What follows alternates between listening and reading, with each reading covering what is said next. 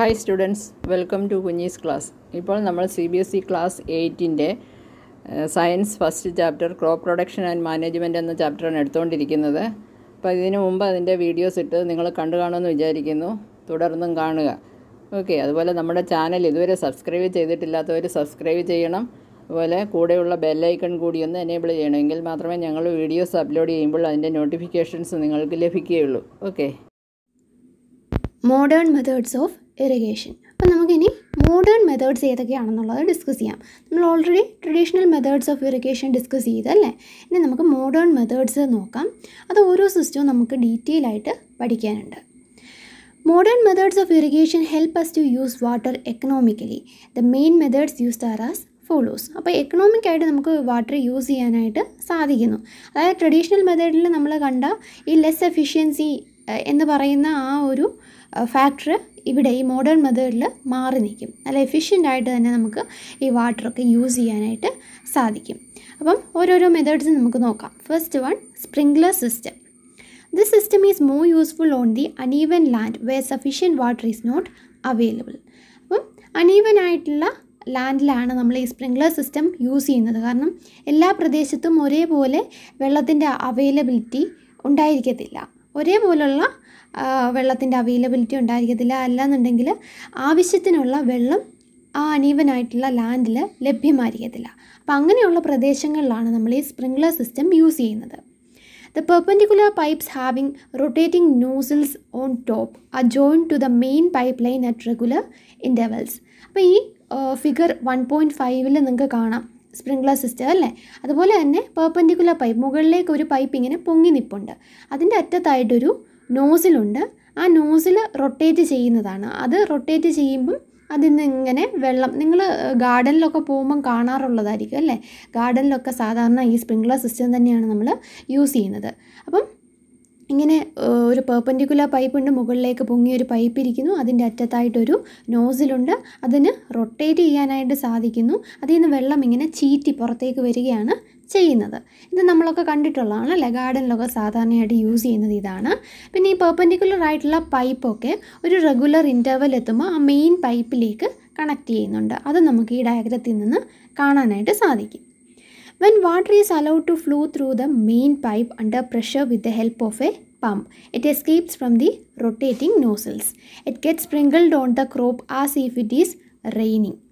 അപ്പം ഈ മെയിൻ പൈപ്പിലൂടെ ഒരു പമ്പിന്റെ സഹായത്തോടെ നല്ല പ്രഷറിൽ വെള്ളം ഫ്ലോ ചെയ്ത് പോകുന്നു മെയിൻ പൈപ്പിലൂടെ ഫ്ലോ ചെയ്ത് പോകുന്നു അത് പിന്നെ പെർപ്പൻഡിക്കുലർ പൈപ്പിലെത്തി ആ നോസിലൂടെ പുറത്തേക്ക് പോകുന്നു. നല്ല പ്രഷറിൽ വരുന്ന വെള്ളം ആയതുകൊണ്ട് തന്നെ ഈ നോസിലിലൂടെ പുറത്തേക്ക് പോകുന്നു. അപ്പോൾ നോസിലിൽ നിന്ന് വെള്ളം ചീറ്റുകയാണെന്ന് ഞാൻ പറഞ്ഞല്ലേ?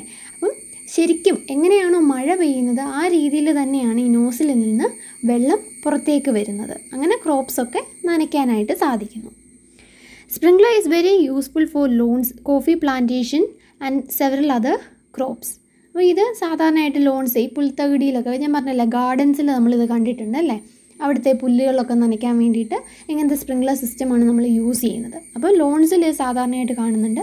പിന്നെ കോഫി പ്ലാന്റേഷന് അങ്ങനത്തെ കുറച്ച് ക്രോപ്സിനും നമ്മൾ ഈ സ്പ്രിംഗ്ലർ സിസ്റ്റം യൂസ് ചെയ്യാറുണ്ട്. അപ്പോൾ സ്പ്രിംഗ്ലർ സിസ്റ്റം എന്ന് പറഞ്ഞാൽ വളരെ ഈസിയാണ് അല്ലേ? ഒരു പമ്പിന്റെ സഹായത്തോടു കൂടി ഒരു മെയിൻ പൈപ്പിലേക്ക് ഹൈ പ്രഷറിൽ വെള്ളം ഒഴുകുന്നു.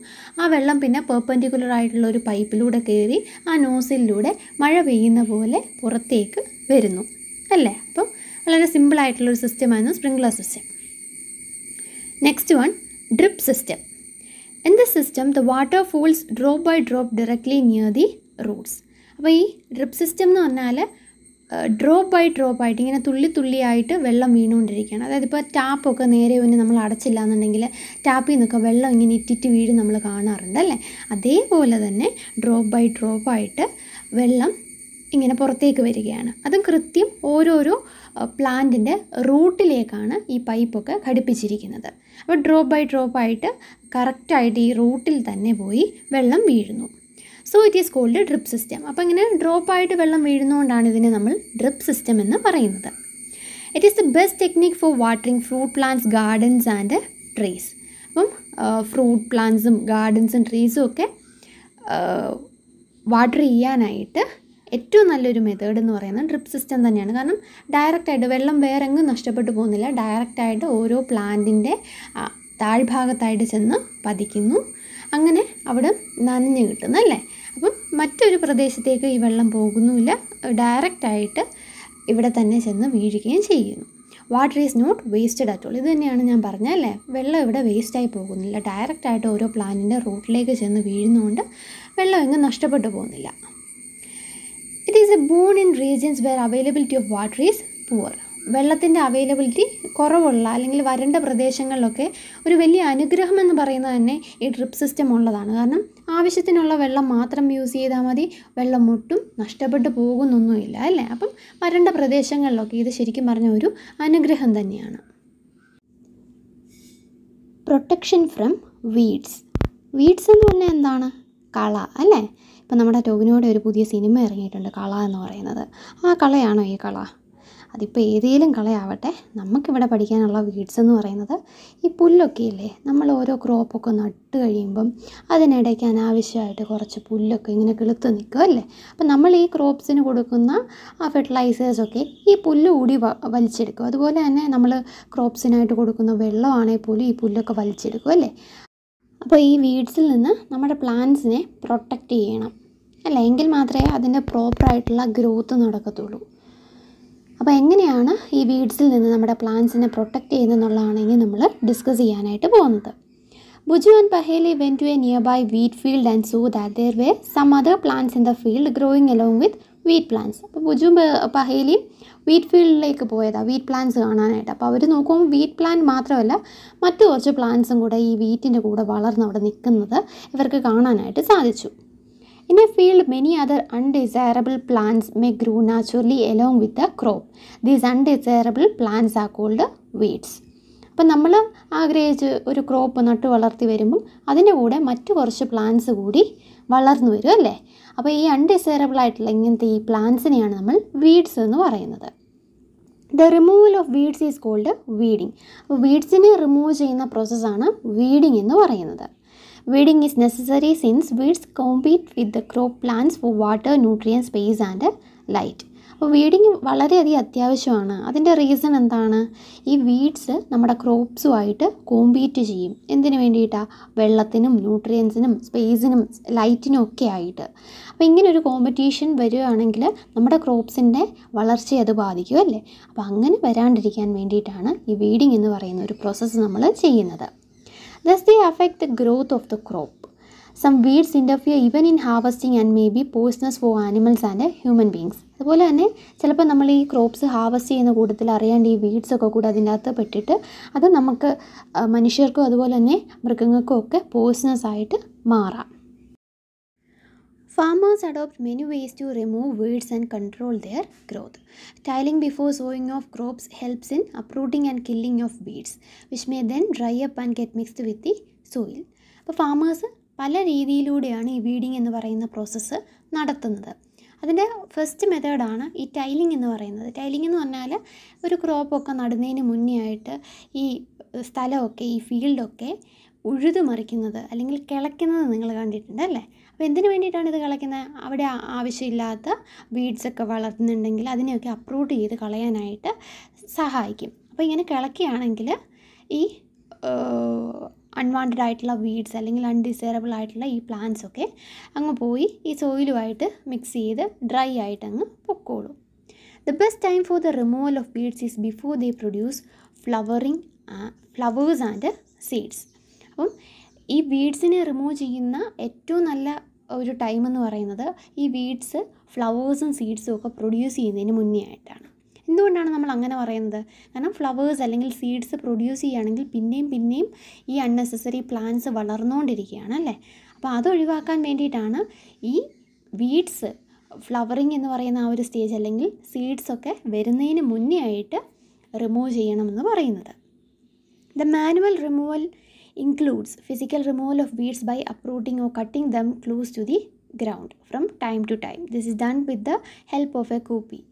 A seed drill is also use to uproot weeds അപ്പം മാനുവലായിട്ട് ഇതെങ്ങനെയാണ് ചെയ്യുന്നതെന്ന് പറഞ്ഞാൽ കൈ കൊണ്ടൊന്നെങ്കിൽ പറിച്ച് കളയുക. അല്ലാന്നുണ്ടെങ്കിൽ നമ്മുടെ നാട്ടിൽ അരുവ എന്ന് പറയുക അല്ലേ? അരുവ കൊണ്ട് ഈ പുല്ലൊക്കെ ചെത്തിക്കളയുക നമ്മൾ കണ്ടിട്ടുണ്ട്. അപ്പോൾ ഗ്രൗണ്ടിനോട് ചേർത്ത് അതൊന്നെങ്കിൽ അങ്ങനെ ചെത്തിക്കളയുക ഓക്കെ അപ്പോൾ മാനുവലായിട്ട് ചെയ്യുന്നത് ഒന്നെങ്കിൽ കൈകൊണ്ട് ഇങ്ങനെ പറിക്കുക. അല്ലെങ്കിൽ ഒരു അരുവ കൊണ്ട് പുല്ലരുവ കൊണ്ട് ഇത് ചെത്തിക്കളയുക പിന്നെ സീഡ്രില്ലും യൂസ് ചെയ്യാറുണ്ട് ഈ വീഡ്സിനെ പറിച്ച് കളയാൻ വേണ്ടിയിട്ട് സീഡ്രില്ലും യൂസ് ചെയ്യാറുണ്ട്. Weeds are also controlled by using certain chemicals called weedicides like two four D. These are sprayed in the field to kill the weeds. അതുപോലെ തന്നെ വീഡിങ്ങിന് വേണ്ടിയിട്ട് നമ്മൾ കെമിക്കൽസ് യൂസ് ചെയ്യാറുണ്ട്. ആ കെമിക്കൽസിന്റെ പേരാണ് വീഡിസൈഡ്സ് അതായത് വീഡ്സിനെ കൊല്ലുന്ന കെമിക്കൽ ഓക്കെ വീഡ്സിനെ കൊല്ലാനായിട്ട് അല്ലെങ്കിൽ വീഡ്സിന്റെ ആ ഒരു ഗ്രോത്ത് സ്റ്റോപ്പ് ചെയ്യാനായിട്ട് നമ്മൾ യൂസ് ചെയ്യുന്ന കെമിക്കൽസിനെയാണ് നമ്മൾ വീഡിസൈഡ്സ് എന്ന് പറയുന്നത്. അതിന്റെ ഒരു എക്സാമ്പിളാണ് ഈ ടു ഫോർട്ടി ഇത് ഈ വീഡ്സിന്റെ മുകളിലായിട്ട് ഇങ്ങനെ സ്പ്രേ ചെയ്ത് വിടുകയാണ്. The weedicides are diluted with water to extend required and sprayed in the fields with a sprayer അപ്പം ഈ വീഡിസൈഡ്സ് വെള്ളവുമായിട്ട് അതിന്റെ ഒരു പ്രത്യേക റേഷ്യോ ഉണ്ട്. ആ റേഷ്യോയിൽ വെള്ളവുമായിട്ട് മിക്സ് ചെയ്യുക. അതിന് ശേഷം ഒരു സ്പ്രെയറുടെ സഹായത്തോടു കൂടി ഫീൽഡിൽ സ്പ്രേ ചെയ്ത് വിടുക. അപ്പോൾ എന്ത് സംഭവിക്കും? ഈ വീഡ്സൊക്കെ അങ്ങ് കരിഞ്ഞു പൊക്കോളും. ഇത് നമ്മൾ കണ്ടിട്ടുണ്ടല്ലേ? നമ്മുടെ മുറ്റത്ത് പറമ്പിലൊക്കെ ആയിട്ട് ആവശ്യമില്ലാണ്ട് ഇങ്ങനെ പുല്ലൊക്കെ കിളുത്ത് നിൽക്കുമ്പം ചില വീടുകളിലാണെങ്കിൽ പോലും ഈ വീഡ് സൈഡ്സ് നമ്മൾ യൂസ് ചെയ്യാറുണ്ട്. ചിലടത്ത് ഇത് പറിച്ച് കളയുക അങ്ങനത്തെ ചെറിയ ചെറിയ കാര്യങ്ങളൊക്കെ ചെയ്യാറുള്ളൂ.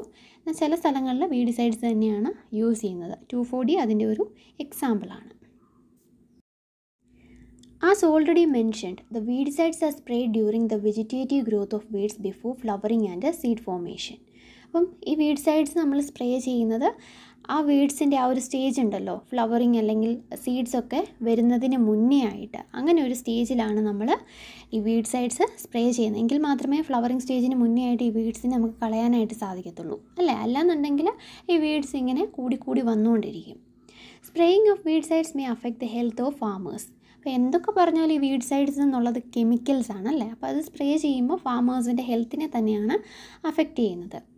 So they should use these chemicals very carefully they should cover the nose and mouth with a piece of cloth during spraying of these chemicals അപ്പോൾ ഈ ഫിഗറിൽ കാണുന്ന പോലെ തന്നെ മൂക്കും വായും ഒക്കെ കവർ ചെയ്തുകൊണ്ട് വേണം ഈ ഒരു പ്രോസസ്സ് ക്യാരി ഔട്ട് ചെയ്യാനായിട്ട്. ഇല്ലാന്നുണ്ടെങ്കിൽ ഈ വീഡ് സൈഡ്സ് എന്ന് പറയുന്നത് ഹാംഫുള്ളാണ് അത് കാരണം പല രോഗങ്ങളും ഈ ഫാമേഴ്സിന് വന്നു ഭവിക്കാം. അല്ലേ? അപ്പോൾ അതുകൊണ്ട് അതിന് വേണ്ട പ്രിക്കോഷൻസ് എടുത്ത് വേണം ഈ വീഡ് സൈഡ്സ് ഒക്കെ അപ്ലൈ ചെയ്യാനായിട്ട്.